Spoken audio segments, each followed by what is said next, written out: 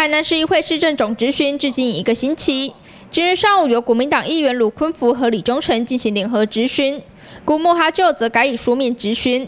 今日的议场并没有立起人形立牌，议员面对空荡的被询席质询。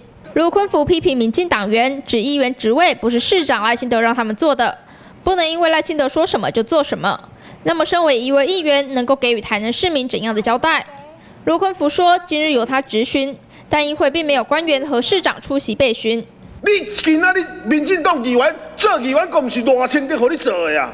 较会当讲赖清德若讲一句话，你个听甲耳仔啪啪啪。安尼恁民进党议员，你身为一个议员，恁对台南市民会当交代吗？本席第三工前，拢照听书，我录公文，要求台南市市长。以及以及主管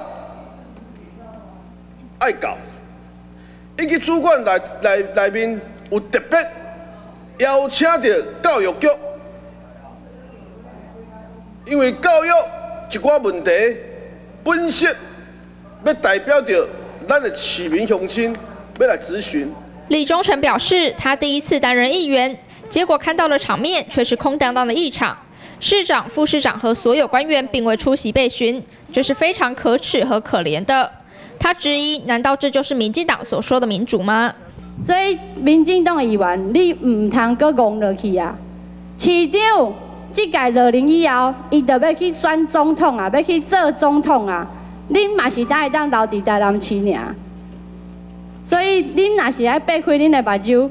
共同甲阮遮其他党员、其他党的议的议员来为咱台南市民来拍拼。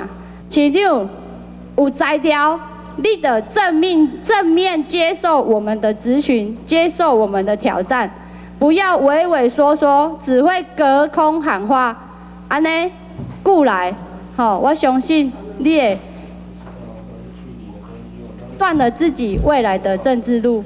卢坤福表示，所有市府官员没进议会，导致建设进度停摆，无法再进行。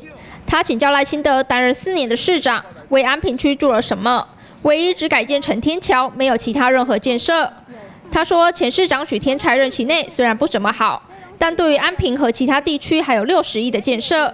而赖清德四年任期，安平区只有成天桥改建，其他完全没建设。记者黄俊华、林志德台南报道。